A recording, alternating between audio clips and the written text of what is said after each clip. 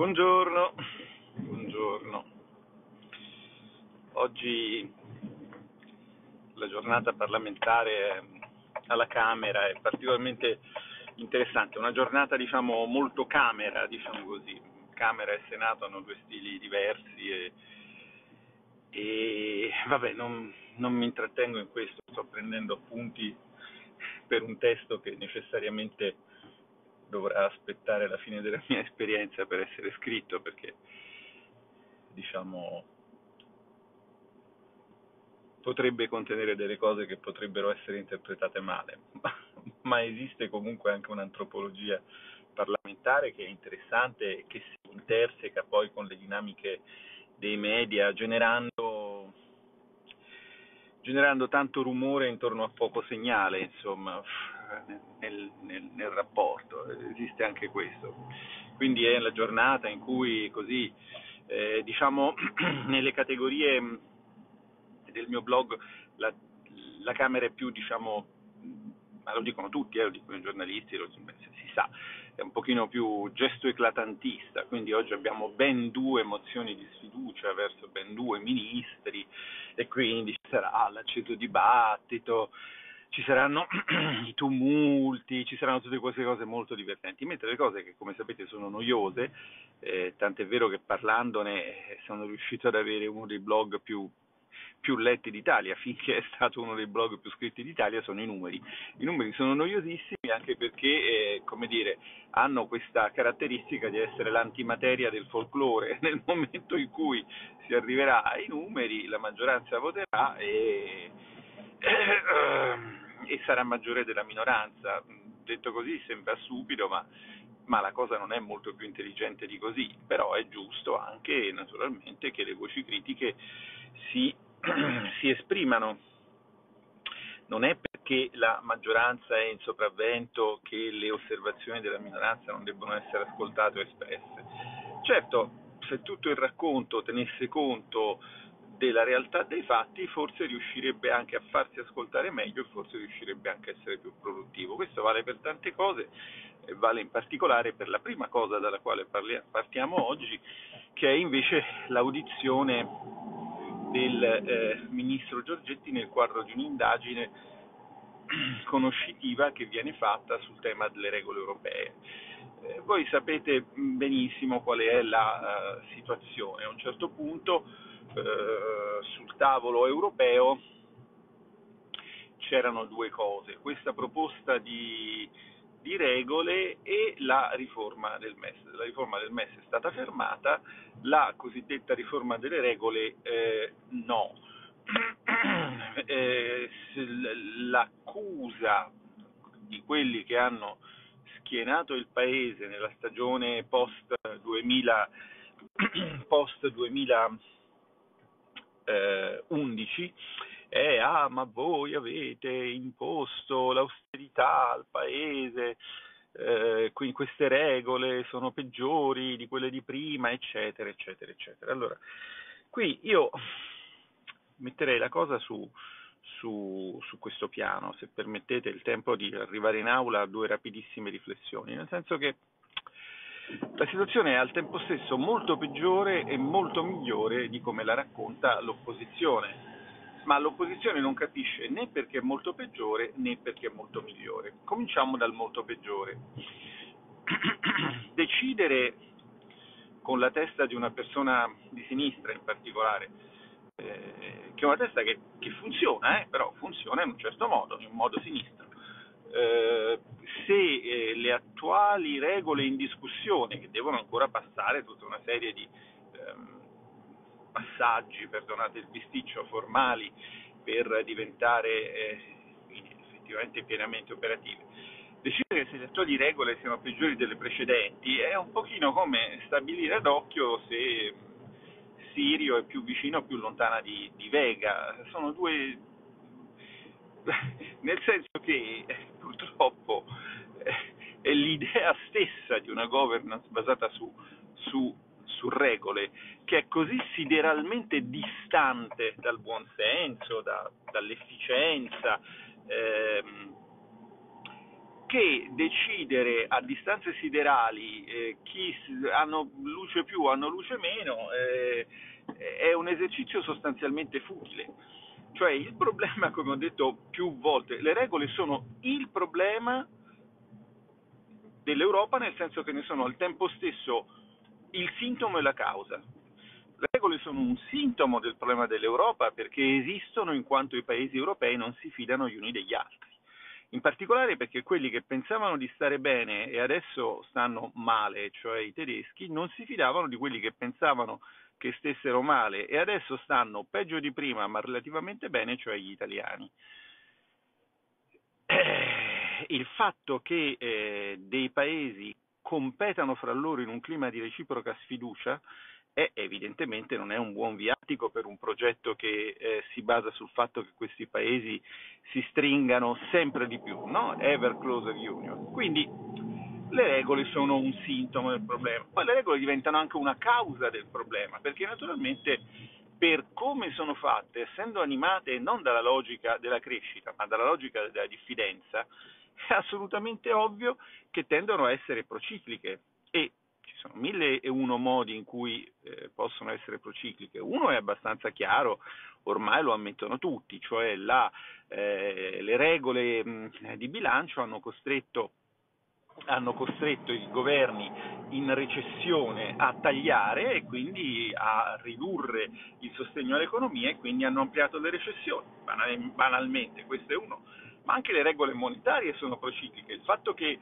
siccome eh, se non si acquistano i titoli del debito in difficoltà salta tutto, allora bisogna acquistarli, ma se acquisti i suoi devi acquistare anche i miei, cioè devi acquistare anche i titoli di chi non è in difficoltà, fa sì che quando c'è da fare un intervento, banalizzo, di creazione di moneta, in Europa quell'intervento è abnorme, si crea una abnorme quantità di moneta, con tutti i eh, problemi che, eh, che eh, vengono evidenziati da De Grauve in uno dei suoi ultimi, nel suo ultimissimo paper, eh, che fra l'altro io non avevo neanche capito bene, poi per fortuna i miei lettori me l'hanno spiegato sul blog, e quindi è un paper assolutamente centrato, ma dietro cosa c'è? Il non detto da lui è questo, cioè che la necessità di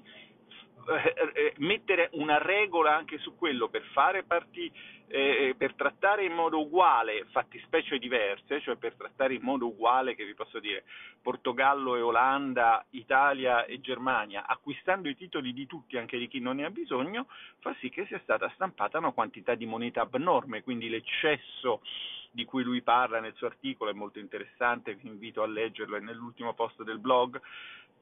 quella roba lì dipende anche quella da una regola. Quindi le regole diventano causa, sono sintomo perché vengono definite perché i paesi non si fidano di, fra loro e quello è il male europeo. Sono causa dell'ulteriore male europeo perché accentuano tutte le dinamiche perverse,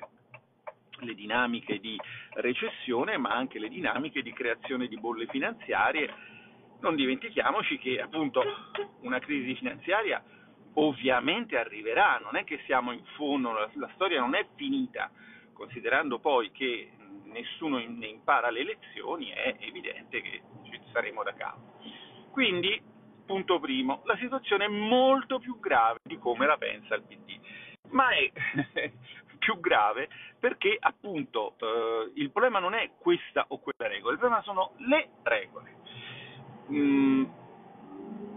quale sarebbe la soluzione? Ma la soluzione sarebbe molto semplice, visto che non ci si fida, meno Europa, recuperare spazi di autonomia eh, decisionale, istituzionale dei governi eh, e vinca il migliore, no? Ma per qualche strano motivo questa eh, soluzione è particolarmente invisa, guarda caso, proprio a quelli che pensano, raccontano e fanno raccontare di essere i migliori. Evidentemente per loro questo sistema tanto inefficiente è una rete di sicurezza e infatti lo è, perché è abbastanza facile come dire, eh, vincere in un confronto internazionale nel momento in cui se un governo fa qualcosa per propria, le proprie imprese eh, è aiuto di Stato e se lo fai tu va bene così, no? è abbastanza facile vincere così. Diciamo che a loro piace vincere facile. E vabbè, eh, questo è il dato. Eh, quindi la situazione è da un lato molto peggiore, dall'altro però, dall'altro però la situazione è molto migliore perché? Ma perché il difetto delle regole eh, precedenti dal punto di vista diciamo, tecnico eh, era quello di contenere dei margini di eh, opacità e di eh, indeterminazione e le regole nuove questi margini non li eh, riducono, no, li amplificano. Perché? Allora, il margine di eh, opacità, di indeterminazione e quindi di arbitrio, allora, prima che vi dica dove è eh, questo margine, nelle precedenti e nelle successive, vi dico a che cosa serve. Il margine di opacità e quindi di, di arbitrio, di indeterminazione serve a una cosa molto semplice, che è questa, nel momento in cui eh, diciamo così, le cose eh, cominciano ad andare eh, minimamente storte, subentra un negoziato, subentra un negoziato politico. E chi ha eh, più forza politica la fa valere. D'accordo? Vi ho citato il caso degli aiuti di Stato, perché la Germania ha potuto fare i fondi extra bilancio che sono all'atere del tema aiuti di Stato, perché la Germania può continuare a sostenere le proprie aziende senza che la Vestager dica nulla, eh, che è chiaro, insomma un commissario danese è chiaramente un ascaro di un governo tedesco. Eh, questo, diciamo così, mh, va bene finché il tuo governo ha un rilevante peso, la tua economia traina, eccetera, eccetera, è chiaro che tu in un contesto di indeterminatezza riesci a imporre la tua forza e tirare le, la corda dalla parte tua. e questo è un, è un dato. Eh, quindi vi ho detto a cosa serve politicamente questa indeterminatezza delle regole. Era stata individuata fin da subito, fin da subito, fin dai primi anni 90, William Boyter ne aveva parlato, cioè regole fisse con applicazione variabile costituiscono un enorme problema, perché ovviamente creano un problema di moral hazard, cioè di eh, comportamento opportunistico o sleale, nel senso che se tu sai che la regola non verrà applicata, eh, insomma, quella cosa che si rimprovera al governo italiano, ai governi italiani, al paese Italia, cioè di fare continuamente condoni, eccetera, eccetera, eccetera, in realtà è proprio la cifra della governance europea. Siccome le regole sono opache, le regole contengono margini di indeterminazione, eh, si va sostanzialmente di condono in condono dove vige la legge del più forte, sostanzialmente. Allora, adesso un piccolo proprio sintetico approfondimento tecnico del perché erano opache le regole precedenti. Le regole precedenti erano opache perché la misura di quanto un governo doveva tagliare si basava sul concetto di crescita potenziale eh, dell'economia, di potenziale produttivo dell'economia. Perché questo? Perché quello che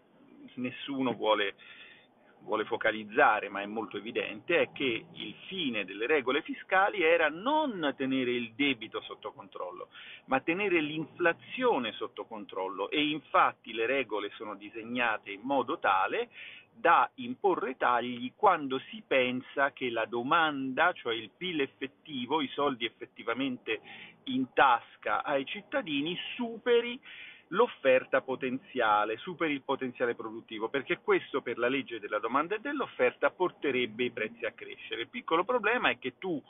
in realtà non osservi il potenziale produttivo, cioè quanto il paese potrebbe produrre se tutti fossero occupati, se tutte le macchine fossero in funzione, ben oliate ben manutenute, tu osservi solo eh, il PIL effettivo, la domanda, quello che eh, risulta dalla somma dei prodotti concretamente eh, posti in essere e dei redditi concretamente percepiti. Quindi l'altro termine di paragone, l'offerta potenziale, è una stima ed è una stima effettuata in modo opaco ed è lì che si giocava il margine di ambiguità. Eh, regole basate su un concetto che non esiste, stimato in un modo che non si capisce, ovviamente hanno un potenziale infinito per storture ed abusi. Le nuove regole non sono molto migliori perché non solo non hanno eliminato il riferimento al potenziale, il riferimento al potenziale rimane un po' nascosto fra le righe perché un pochino se ne vergognano, ma hanno per di più messo, eh, diciamo, eh, rovesciato l'approccio dicendo che eh, la valutazione delle politiche di bilancio va fatta su un arco prospettico di eh, sette anni, d'accordo? Ora, non c'è bisogno di avere, diciamo, come, come, me, fatto per tanti anni ehm, scenari macroeconomici, previsioni eh, a vari livelli, sia di singoli fenomeni economici che di, dello scenario dell'intera economia, basta un minimo di buonsenso per capire che una previsione a sette anni è un esercizio letterario, naturalmente, non ha nessunissimo modo di eh, ancorarsi a, una, eh, diciamo, a, un ipotetico percorso reale. La morale di questa favola è che dal punto di vista della, eh, dire, dello spazio lasciato dall'apparato regolatorio all'incertezza, all'arbitrio dei rapporti di forze è, se possibile, ancora maggiore. Allora, la domanda a questo punto non è se le regole nuove ci, van- ci avvantaggino o ci svantaggino. La domanda è se gli attuali rapporti di forza ci avvantaggino o ci svantaggino. E eh, mi sembra abbastanza evidente che eh, rispetto al periodo mh, 2011, insomma, quando, quando, è nato il mio blog, quando io e e Claudio e Antonio e Marco, insomma siamo entrati in questo dibattito, l'Italia è arrivata nel modo sbagliato, ma nel posto giusto. Il modo sbagliato è stato quello delle politiche di austerità, la svalutazione interna ha imposto oggettivamente delle sofferenze e una distruzione di PIL che la svalutazione esterna mai e poi mai avrebbe imposto. Svalutazione esterna intendo quella di una valuta nazionale, ma eh, fatto sta che seppure nel modo sbagliato, cioè attraverso il taglio dei salari, noi siamo arrivati in un posto in cui la nostra economia è, come si suol dire, competitiva, tant'è che questo sta diventando un tema di, eh, di analisi, se ne accorgono perfino adesso, sono, diciamo, noi ne parliamo da circa tre anni di questo, sostanzialmente ne parliamo da quando da quando abbiamo dato la, la, la, fiducia a Draghi, che dopo aver fatto fare il lavoro sporco per alcuni anni al PD, dopo la nostra breve parentesi, arrivava pensando di surfare l'onda della necessaria ripresa data dall'elasticità di qualsiasi sistema economico, perché è chiaro che se tu chiudi mezzo paese il PIL cala, quando riapri il mezzo paese il PIL cresce e tu puoi raccontare che sei stato molto bravo, no? questo era un pochino il meccanismo però già da allora vi avevo fatto vedere che noi comunque attraverso il percorso nel deserto dell'austerità eravamo arrivati in una posizione di relativo vantaggio competitivo. Oggi se ne accorge, se, se seguite per esempio Michael Pettis su Twitter, che è una persona molto, molto acuta, vedrete che oggi dice che c'è tutto un dibattito al nord sul fatto che si sono accorti di stare peggio di noi. E allora però questo le cose, le cose le cambia. Cioè, è abbastanza, eh, è abbastanza eh, divertente che chi ha negoziato delle regole che penalizzavano il paese in un momento in cui il paese era debole, se la prenda con chi sta negoziando delle regole rispetto alle quali il paese comunque ha maggiore capacità di gestione perché si trova in un eh, in una situazione con dei rapporti di forze eh, migliori. Ora, va, quindi va tutto bene? No, naturalmente non va tutto bene, voi sapete eh, perfettamente come, come, io posso pensarla su, eh, d'altra parte ve l'ho appena detto, cioè eh, le regole sono, sono fondamentalmente, anche se non se ne accorge nessuno perché perché per accorgersene bisogna usare quella competenza non STEM che è la banale logica, diciamo, aristotelica, insomma, che molti non sanno che può essere formalizzata e quindi pensano che non sia scienza. In realtà può essere formalizzata, è scienza, una, uh, un minimo di logica ti fa capire che nel momento in cui tu hai bisogno di regole significa fondamentalmente che tu esprimi una sfiducia verso i tuoi compagni di cordata, verso le istituzioni, no? perché devi assisterle con qualcosa. Uh, quindi questo significa in buona sostanza che, eh, come, come, come, come, ben sapete, insomma, per me, ma anche per, ma anche per qualcun altro, insomma, non è che siamo poi così pochi in Italia, lo vedremo quanto siamo a giugno, eh, una situazione migliore, più razionale, più, più, più, più eh, più favorevole alla prosperità, alla pace fra i popoli è quella in cui ci sia meno Europa, meno regole, più democrazia, più politica, eccetera, eccetera. E quindi non va tutto bene, ma non va neanche tutto male, cioè eh, se eh, le emozioni di sfiducia, motivate o meno, eh, diventano oh, nei contesti di forza attuali rischiano di diventare così, la giornata mondiale dello gne gne gne, anche, anche la, la eh, immagino le domande insomma, dei colleghi, immagino anche i colleghi che le faranno, sono anche quelle insomma, delle, delle, recriminazioni, delle recriminazioni inutili. Il problema delle regole è il problema dell'interesse nazionale, non è particolarmente legittimato a intervenire chi fino a pochi anni fa diceva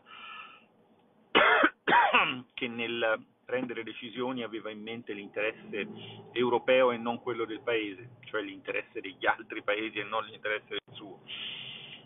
Dopo affermazioni di questo tipo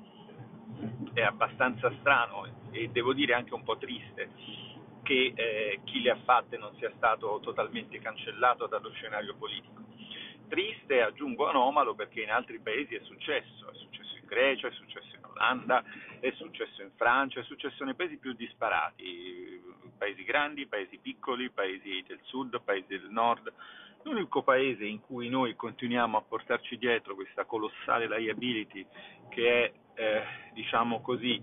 eh, un partito di quella socialdemocrazia subalterna, obbediente,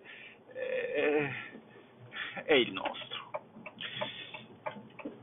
E oggi, eh, facendo il nostro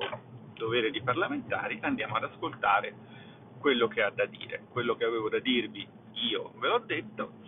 e quindi al prossimo stop spengo e vi lascio alle vostre occupazioni.